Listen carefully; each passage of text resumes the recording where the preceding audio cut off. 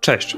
Ja nazywam się Koena, to jest Miasto Mgły i to jest mały tutorial o tym, jak robimy bohatera, w jaki sposób można go tworzyć, w jaki sposób powinno się go tworzyć i w jaki sposób ten proces wygląda w podręczniku głównym dla gracza. Podręcznik główny zawiera sporo informacji. Prawie połowa z nich to jest to, jak tworzyć bohatera. Na tym przykładzie samego spisu treści, który mamy w podręczniku głównym, jak zauważycie, bardzo szybko Who are you, czyli jak stworzyć własnego bohatera. To jest od 40 do 156 strony. Podręcznik ma jakieś 311 stron po angielsku. To jest yy, tak naprawdę razem z tym, yy, jakie mamy miasto i czym jest legenda, daje nam no praktycznie pół podręcznika na tworzenie bohatera. Y, druga część to jest zasady rzutów, mechaniki gry graczem, y, no i takiego rozwoju osobistego bohatera w roleplayu i gdzieś w świecie, któremu się tworzy.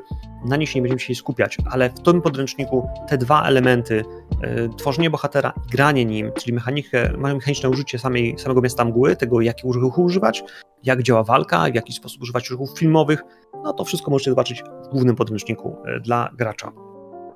Co potrzebujemy, żeby stworzyć sobie bohatera? Co potrzebujemy, żeby stworzyć sobie elementy Who are you? Dokładnie. Pytanie jest pierwsze. W jakim mieście mgły gracie? Jaki ma być nastrój? Jaki ma być temat tego, kim jesteście i w jaki sposób będziecie grali? Takie pytania powinniście zadać sobie razem wspólnie z mistrzem ceremonii, czyli mistrzem gry i odpowiedzieć sobie na nie, no właśnie w wspólnym gronie. Co to będzie za klimat? W jaki sposób ci nasi bohaterowie będą razem współpracować? Czy będą wiedzeni, no cóż, przyjaźnią, osobistą? Co będzie ich napędzało? To jest bardzo ważne i to pytanie, jeszcze zanim stworzycie bohaterów, powinno być, no cóż, wyjaśnione. Zakładamy, że wasz bohater wie, że będzie w teamie no, jakichś, nie wiem, superbohaterów, to może być drużyna, y, która spotyka się wieczorami do walki ze złem, tacy samozwańczy vigilante, czyli tacy samozwańczy obrońcy sprawiedliwości. Y, to może być też grupa detektywów. To może być zupełnie inny klimat drużyny, który będzie miał swoje własne rzeczy do robienia. Ważne jest to, że kiedy tworzycie tego bohatera, zadajcie sobie dwa pytania. Po pierwsze, kim on jest, kiedy jest normalny, kiedy po prostu wiedzie codzienne życie. A drugie, to to, jaki mit przez niego przemawia. Te dwa elementy powinny do siebie w jakiś sposób grać, powinny dla was przemawiać jako element, który wam się podoba, który was kręci. E, no i na to pytanie, e, na przykładzie tych kart, które właśnie są. To są karty akurat z Rola, więc Roll20 ma karty po polsku. To są małe minusy, jeśli chodzi o tłumaczenie, ale nadal są bardzo fajne, interaktywne na nich pójdziemy e, w pokazywanie tego, jak można pewne rzeczy przełączać. No dobra, to popatrzmy, co możemy tutaj przełączyć. I ja widzę tak, że mm, karta postaci, imię postaci. Tony. Starkowski. Nie będziemy się specjalnie wysilać. Tony jest oczywiście inżynierem na MIT, doktorant, pracuje, wykłada na uczelni, ma spotkania ze studentami, zajmuje się jakimiś mechanicznymi rzeczami. I skoro to mamy Toniego, to mytos, który będzie przez niego się wyrażał, no właściwie to mógł być każdy. To może być istota z bajek, to może być coś z mitologii, to może być coś z filmów, książek, cokolwiek sobie wymyślicie, że może przez niego wyrażać się, ale będzie czymś, co nada mu jakieś siły, supermocy, no będzie pasowało prawdopodobnie. It's up to you. To od was zależy, na jaki mit, mit się skusicie, jaki mit będzie się wyrażał przez naszego bohatera. Ale ponieważ nasz inżynier jest inżynierem, jest mm, no sztonim, to ja myślę, że mit, który mógł się, mógł się przez niego prze, przejawiać, to będzie oczywiście Hephaistos,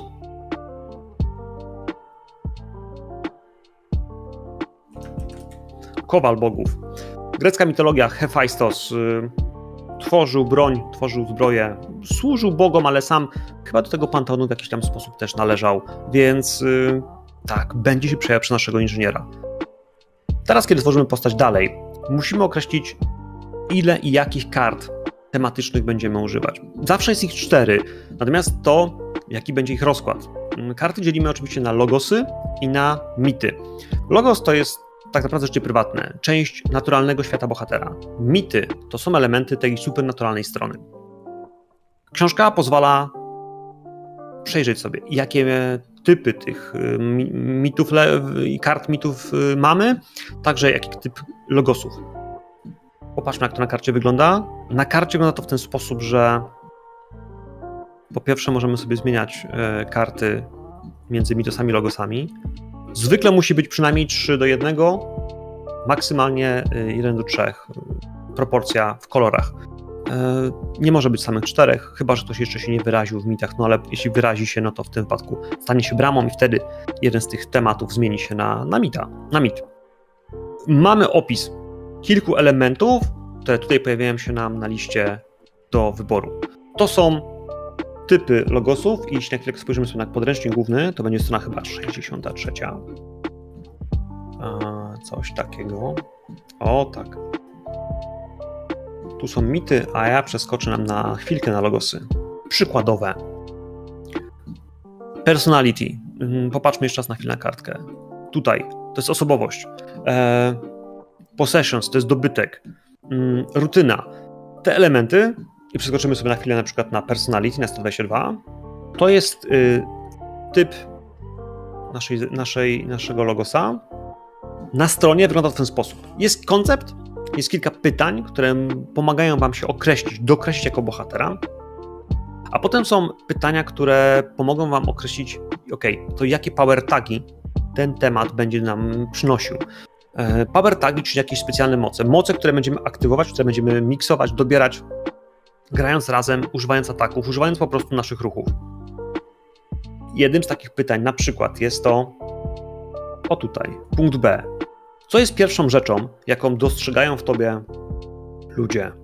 Easily overlooked. To jest bardzo fajny element, to jest element, który pozwala się ukrywać, łatwo, łatwo, łatwo, łatwy do pominięcia, więc bierzemy sobie tutaj, to jest osobowość, koncept w obyciu, niech tak będzie, power tak, łatwy do pominięcia?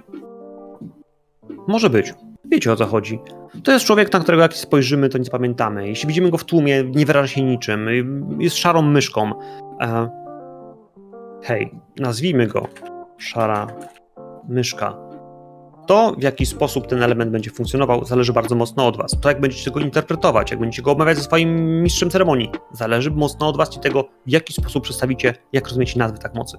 To jest skrótowa rzecz dla Was, więc hej, tych tagów mocy musimy wybrać trzy więc zbieramy sobie kolejne elementy. Yy, co tu się może dziać? Popatrzmy. Nasz bohater może mieć fajne rzeczy. Mówiliśmy, że jest nerdem, więc weźmy sobie inteligenta, że jest inteligentny, ale yy, to będzie coś, co będzie pozwalało nam, pozwalało nam wykonywać jakieś mądre rzeczy. I ostrożny, cautious. Znacznik słabości, nieprzystawny społecznie. Hej, czemu nie? E, tytuł motywu Nerd na uczelni. Tak to nazwiemy. Karta określa nam tagi mocy, znaczniki słabości, które pomogą nam się rozwijać. Na drugiej stronie możemy zaplanować już elementy, które będą kolejnymi elementami do rozwoju. Na przykład, y, no cóż, y, bez kartoteki kryminalnej. Może być tak, że kiedy e, będziemy chcieli coś załatwić, chłopak będzie musiał powołać na to, że ma czystą kartotekę, nie był nigdy rejestrowany, że to jest jego pierwsze wykroczenie i może, no właśnie, kooperować z służbami policji. Czemu nie? Tych elementów będzie więcej, każdy z nich musimy sobie dokreślić. Te ulepszenia też są opisane w podręczniku, a sama karta, jak widzicie, funkcjonuje bardzo ładnie, elastycznie. Potem mity, przeznaczenie. Wracamy na 63, 64. E, Raz, dwa. Przeznaczenie to będzie y, Divination? Nie, chyba nie, chyba to nie jest Divination, ale, y, bo to jest raczej odczytywanie mm, wróżenie, wieszczenie, Divination. Ok, ale możemy wziąć wieszczenie, czemu nie? E, więc z tych tagów znowu mamy pytania o moce. E, na przykład, jaką, jaką przewagę twoje przyzywanie, twoje wieszczenie e, daje ci w walce? E, no i na przykład mamy predict a false next move, czyli E, przebić następny ruch e, przeciwnika. Ja wiem, że Hephaistos może nie ma takiej mocy, ale, ale nawet nie patrząc tutaj, mógłbym sobie na przykład stwierdzić, ok, to nie będzie wieszczenie, to będzie na przykład relikt, to będzie młot. I mogę sobie wyobrazić klucz francuski. Jeśli on go chwyci, to trochę jakby dotykał tego, co potrafi się przemienić właśnie w młot Hefajstosa. I ten klucz francuski jest idealnie takim trochę młotem Tora, więc y, to nie będzie widywanie ruchu przeciwnika. To będzie po prostu z głowy ognisty. Yy, wybuch? Czemu nie? Bardzo ciężki, mityczne runy, świecące na tym młocie. Może przydadzą się na przykład do tego, by kogoś przekonać, by zainwestować siłę, kogoś wystraszyć, zastraszyć. No, takie elementy. E, woda, znacznik słabości. Woda zmniejsza jego moc. To jest młot ognisty pochodzący od Hefajstosa Kowala, więc w tym wypadku mamy już dwa takie tagi. Musimy iść dalej. Każdy kolejny będzie dawał nam elementy, które możemy wybrać z podręcznika i na, tym, na tej bazie tworzymy tego bohatera. Tworzymy jego świat, jego umiejętności, jego przewagi. W tym wszystkim wracając jeszcze do początku, do opisu treści, jesteśmy z powrotem na górze. Tembuki to jest elementy, elementy które musimy sobie tutaj y, zrobić i które są trzecim krokiem w tworzeniu postaci. Wszystko potem to już jest tworzenie sobie teamu, określanie ekipy, jej motywu, no oraz elementów jakby szybkiego tworzenia ekipy, ale ta będzie nam potrzebna dopiero, kiedy będziecie znali już swoją ekipę i mogli wybrać, w jaki sposób razem wspólnie funkcjonujecie. Kilka informacji na temat tego, w jaki sposób funkcjonujecie poza pracą, w jaki sposób żyjecie w dniu codziennym, czy macie przyjaciół, znajomych. Są rzeczy, które są lorowo bardzo ciekawe i można sobie je dodawać, ale to na tych elementach będziecie bazować, to one będą się zmieniały, to one będą pracować w czasie sesji, jakże między sesjami, kiedy będziecie rozwijać bohatera. To wszystko w mieście mgły dzięki podręcznikowi gracza, który no, służy właśnie do tego. Tworzenie bohatera, jak widzieliście, na prostym przykładzie składa się z jakby z trzech kroków. To jest koncept, kim jesteś za życia i jaki mi przez ciebie przemawia, a potem to, jakie tematy wybieramy, jakie elementy będą najbardziej mocno wyrażone, jakie będą charakterystyczne. Czy najważniejsza z tych wszystkich rzeczy będzie osobowość Tony'ego i chcemy pokazywać to, że on jest właściwie faktycznie na tej osobowości mocno ustawiony, że jest niedostosowany społecznie i że jednocześnie jest bardzo inteligentny i, i, i, ma potężną wiedzę.